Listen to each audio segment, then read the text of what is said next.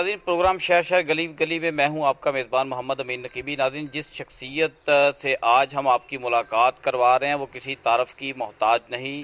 اعلیٰ تعلیم یافتہ یہ نوجوان حلقہ پی پی ایک سو پچپن میں اپنی سیاسی خدمات جو ہے وہ سر انجام دے رہے ہیں. آج ہم ان سے گپ شپ لگائیں گے اور ان سے جانیں گے کہ وہ کس عزم کے تحت اور کون سی شخصیت سے متاثر ہو کر انہوں نے سیاست کے میدان میں قدم رکھا. اور حلقہ پی پی ایک سو پچپن میں وہ کس قسم کی سیاسی خدمات جو ہیں وہ سر انجام دے رہے ہیں اور انہوں نے اپنی ابتدائی تعلیم جو ہے وہ کہاں سے حاصل کی اور لاہور میں شفٹ ہونے کے بعد کون سی ایسی شخصیت ہے جن سے متاثر ہو کے انہوں نے یہاں پہ موجود عوام کی جو ہے وہ خدمت کرنا شروع کی؟ بسم اللہ الرحمن الرحیم۔ میں رائل نیوز کا شکر گزار ہوں کہ انہوں نے آج مجھے موقع دیا کہ میں اپنے حلقے کے حوالے سے اور اپنی ذات کے حوالے سے جو ہے اپنی حلقے کے عوام کے بتاؤں۔ میں کشمیری فیملی سے بلانگ کرتا ہوں اور میرے والد صاحب جو ہیں پاکستان ایئر فورس کے اندر جو ہے وہ ملازم تھے۔ ان کی پوسٹنگ جو ہے پی ایف بیس مسور میں تھی، وہیں پہ، انہی کے اسکول سے nursery to F S C میں نے جو ہے وہاں پہ اپنی ابتدائی تعلیم حاصل کی۔ سیاست میں آنے کی وجہ وہ ایک آپ اس طریقے سے کہہ لیں کہ وہ سیاست میں آنا ایک حادثاتی طور پہ رہا اور دوسرا ایک مزاج جو مجھے اپنی فیملی سے ملا کہ خدمت خلق آپ کو کرنا ہے۔ بٹ صاحب، جب آپ نے عبد شیر علی صاحب سے یہ درخواست کی کہ یہاں لاہور میں اس سوسائٹی کے اندر ٹرانسفارمر کی کمی ہے، یہاں پر ٹرانسفارمر کی جو اشد ضرورت ہے، وہ لگائی ہے تب تو آپ کا سیاسی میدان میں کوئی عمل دخل نہیں تھا، تو وہ کس جذبے کے تحت آپ نے یہ سارے کام جو ہے سر انجام دیے؟ دیکھیں جی اصل بات یہ ہے کہ جس جن علاقوں میں میں رہا ہوں، وہاں پر ہم نے ہمیشہ عوامی لوگوں کو، خصوصاً جو M P M N As ہیں، ان کا ہم نے عوام کے ساتھ رابطہ دیکھا ہے۔ یہاں پر آ کے انفارچونیٹلی یہ محسوس ہوا کہ عوام کا اور جو عوامی نمائندے جن کو وہ الیکٹ کر کے اسمبلیوں میں بھیجتے ہیں، ان کا اور عوام کا کمیونیکیشن گیپ جو ہے اتنا زیادہ ہے، بلکہ وہ کمیونیکیشن ہے ہی نہیں ان کی۔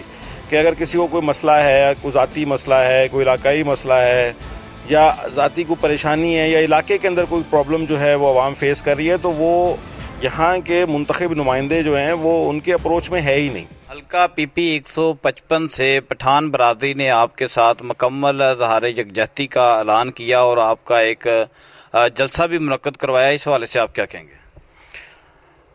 دیکھیں جی پٹھان برادری صرف میرے ساتھ یہاں پر جو ہے وہ نہیں ہے جنہوں نے میرے ساتھ الحاق کا اعلان کیا ہے۔ یہاں پہ کرسچن برادری کی ایک بہت بڑا ایک ان کی حیثیت ہے یہاں پہ، نمائندگی ہے حلقے کے اندر۔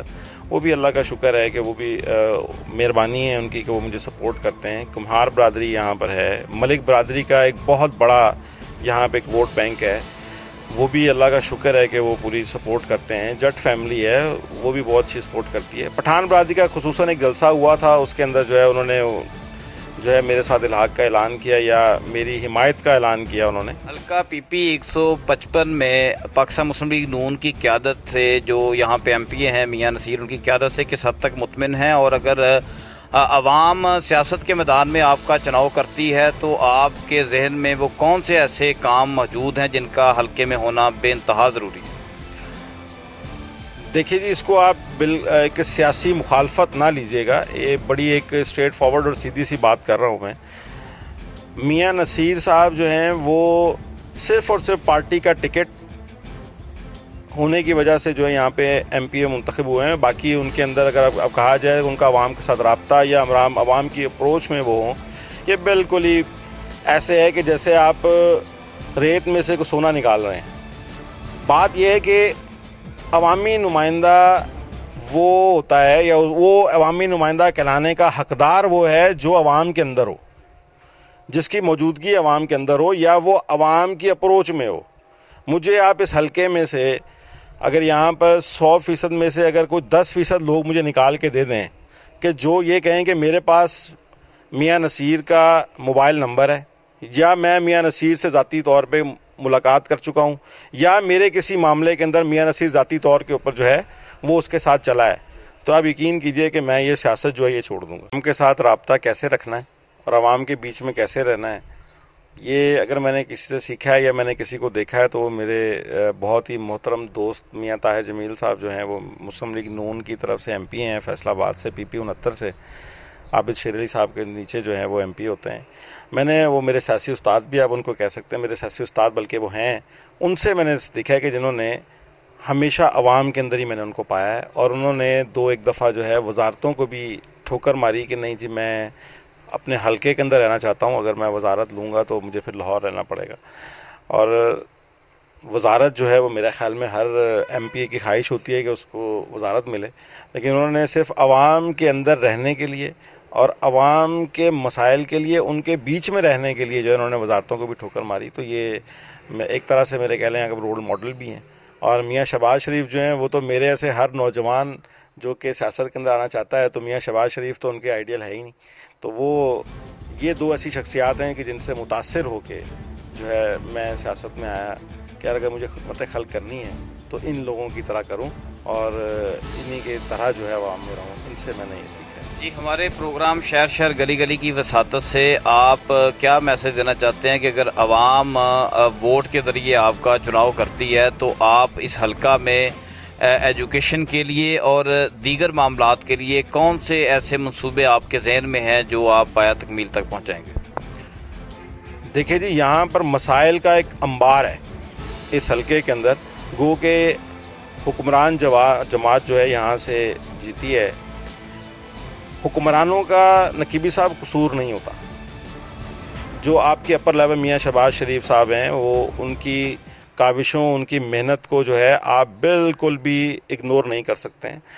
آپ کے چاروں صوبوں کے جو وزرائے اعلیٰ ہیں، ان میں سے اگر کوئی شخص جس کے بارے میں آپ یہ کہہ سکیں کہ واقعی ہی یہ انسان جو ہے کوئی پروجیکٹ لے کر آتا ہے یا عوام کی خدمت کرنا چاہتا ہے، تو وہ اس عمر میں اور اس بیماری کے ساتھ جو اپنے ساتھ وہ ایک جان لیوا بیماری لے کر چل رہے ہیں، اس کے ہوتے ہوئے بھی اگر کوئی شخص کام کر رہا ہے یا کام کرنے کا جذبہ رکھتا ہے تو وہ میاں شہباز شریف صاحب ہیں۔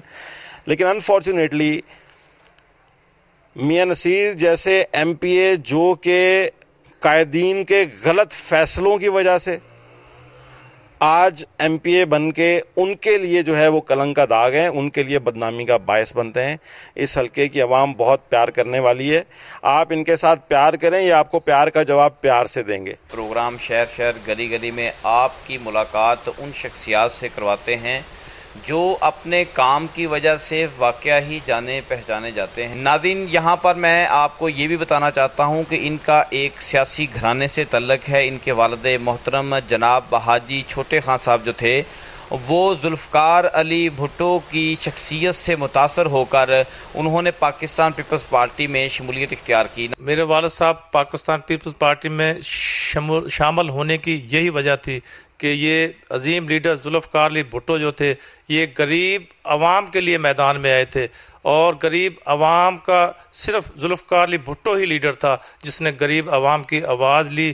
اور یہ پاکستان پیپلز پارٹی جو بنی تھی، یہ غریب عوام کی پارٹی بنی تھی۔ میرے والد صاحب نے اس میں بے حد قربانیاں دی پنجاب بھر میں جلسوں کا اور تنظیم سازی کا جو اعلان کر رکھا ہے، اس حوالے سے پاکستان پیپلز پارٹی کو کس حد تک کامیابی حاصل ہوگی؟ پاکستان پیپلز پارٹی اللہ کے فضل سے بڑی کامیابی کے ساتھ اپنی انتخابی مہم چلا رہی ہے اور انشاءاللہ تعالی ہمارے قائد آصف علی جرداری صاحب نے ہر ضلع میں پاکستان کے کونے کونے میں جا کے جلسے کرنے، ابھی بلوچستان میں جلسہ کیا بلوچ بھائیوں کے ساتھ بھرپور تعاون کیا، ان کے ساتھ بھرپور ہمدردی کی اور انشاءاللہ تعالی ہر ضلع میں جائیں گے اور ہر ہر حلقے میں جائیں گے، آصف علی زرداری صاحب اور بلاول بھٹو زرداری صاحب جو ہیں، وہ بھرپور جو اس وقت بہت کامیاب جا رہے ہیں۔ میں کہتا ہوں کہ حکومت کی نیندیں آرام ہو چکی ہیں۔ راؤ صاحب اگر ہم آپ کے حلقہ این اے ایک سو پچیس کے حوالے سے بات کریں تو یہاں پر مسلم لیگ نون کی قیادت ہے پاکستان مسلم لیگ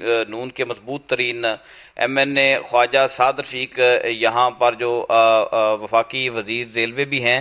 اگر ہم ان کے حوالے سے بات کریں تو آپ اپنے حلقہ میں مسلم لیگ نون کی قیادت سے جو ہے وہ کس حد تک مطمئن ہیں؟ دیکھیں جی خواجہ سعد رفیق صاحب میرے بھائی ہیں میں ان کی عزت کرتا ہوں مگر حلقے کے لحاظ سے میں یہ کہتا ہوں کہ اتنا ناکام لیڈر اس سے پہلے کوئی نہیں تھا۔ اس وقت حلقہ میں گلی گلی میں تاریں لٹکی ہوئی ہیں۔ گلی حلقے میں پینے کا صاف پانی نہیں ہے۔ گلیاں چوہر بنی ہوئی ہیں اور تعلیم کا نظام تباہ ہو چکا ہے۔ صحت کا ہمارے اس پورے حلقے میں کوئی صحت کا کوئی نظام نہیں ہے۔ اور غریب عوام جو ہے عام ڈاکٹر عطائی ڈاکٹر جو ہیں ان سے اپنا علاج کرواتے ہیں اور اس میں کئی جانیں بھی جا چکی ہیں۔ راؤ محمد شریف صاحب چونکہ آپ کا میوات برادری سے تعلق ہے کیا سیاست سے ہٹ کر آپ نے اپنی جو برادری ہے میوات برادری جو ہے اس کے لیے بھی آپ نے کبھی اپنی خدمات سر انجام دی؟ ہاں جی ہم نے اپنی میو برادری کے لیے بے حد محنت کی ہے۔ اپنی برادری کے حق دکھ ہر طرح کے دکھ درد میں خوشی کمی میں شریک ہوتے ہیں۔ ابھی ہم نے ایک پروگرام شروع کیا ہے، دو تین سال سے ہم وہ پروگرام کر رہے ہیں۔ اس میں یتیم، غریب بچیاں جو ہیں، یتیم بچیاں جو ہیں، ان کی ہم اجتماعی شادیاں کر رہے ہیں۔ اس دفعہ بھی ہم نے غالباً ایک سو پچیس کے قریب غریب اور غریب اور یتیم بچیوں کی شادیاں کی ہیں۔ اور ہمیں خوشی محسوس ہوتی ہے کہ ہم اپنی قوم کی خدمت کریں اور قوم کے ساتھ ہم اپنی برادری کی بھی خدمت کریں۔ پاکستان پیپلز پارٹی کے عظیم رہنما بابر بٹ جن کو گزشتہ کچھ دنوں قبل جو ہے وہ شہید کر دیا گیا۔ اس حوالے سے آپ کیا کہتے ہیں کہ ان کے جانے سے پارٹی کو کتنا بڑا دھچکا لگا اور کیا نقصان ہوا پارٹی کا؟ بابر بٹ صاحب پاکستان پیپلز پارٹی کے عظیم سرمایہ تھے اور بابر بٹ جیسا انسان نہ پیدا ہوا اور نہ ہوگا۔ بابر بٹ ایک عظیم انسان تھے، نیک دل تھے، غریب کی آواز تھے، اور یہی انہیں سزا دی گئی۔ موجودہ گورنمنٹ یہ حکومت جو ہے، یہ تو برداشت ہی نہیں کر سکتی کہ پاکستان پیپلز پارٹی کا کارکن جو ہے، وہ کسی غریب کی خدمت کرے، غریب عوام کی خدمت کرے، جس کی سزا بابر بٹ کو مل گئی اور انہیں شہید کر دیا گیا بابر بٹ۔ ایک عظیم انسان تھے، نیک انسان تھے۔ ایسا عظیم انسان، ایسے عظیم انسان صدیوں بعد پیدا ہوتے ہیں۔ تو میں انہیں خراج تحسین پیش کرتا ہوں، ان کے لیے دعا کرتا ہوں کہ اللہ تعالیٰ انہیں جوار رحمت میں جگہ عطا فرمائے اور ان کے خاندان کو، ان کے گھر والوں کو صبر جمیل عطا فرمائے۔